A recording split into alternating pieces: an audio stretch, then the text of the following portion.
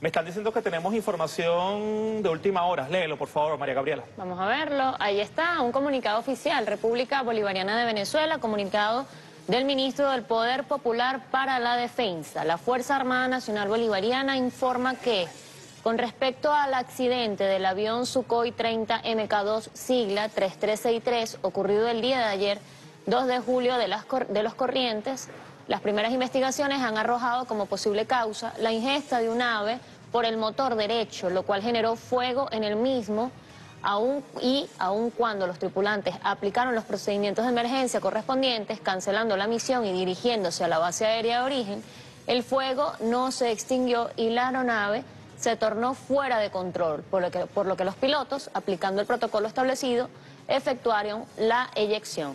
Asimismo, la respectiva autopsia arrojó como causa de la muerte del coronel Paulino José Millán Sabino la asfixia mecánica por compresión extrínseca del cuello, posiblemente provocada por las mismas líneas del paracaídas.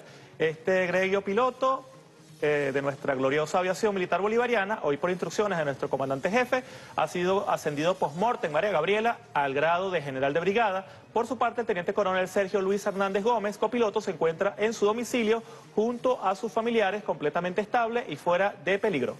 La Junta Investigadora de Accidentes Aéreos de la institución continúa practicando las diligencias de rigor a fin de determinar con mayor precisión todos los factores que pudieron influir en el lamentable siniestro. En todo caso, la Fuerza Armada Nacional Bolivariana reitera su pesar por la pérdida de este valiente soldado del aire, quien continuará volando con nosotros más alto e invicto en el cielo patrio. Chávez vive. La patria sigue. Independencia y patria socialista. Viviremos y venceremos. El son de Venezuela nace en el Esequibo. Nace en el Esequibo nace en el Esequibo. Independencia o nada, leales siempre. Traidores nunca, Vladimir Padrino López, general en jefe, vicepresidente sectorial.